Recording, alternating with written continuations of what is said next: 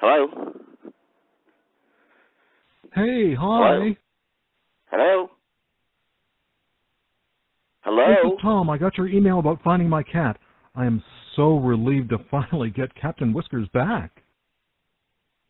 Yeah? What? What do you mean? I don't have Captain Whiskers, dude. In the email, you said you found my whiskers.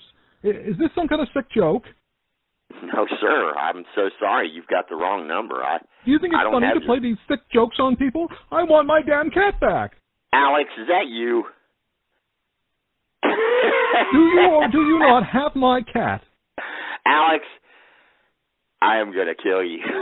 Will you just give me your address? I want to see for myself. You want to come over and see my cat? Look, I just want my cat back. Enough with the games.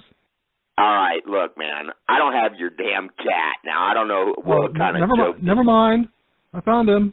Captain Alex. You naughty boy. Where have you been? Alex, is that you? You've just been pranked.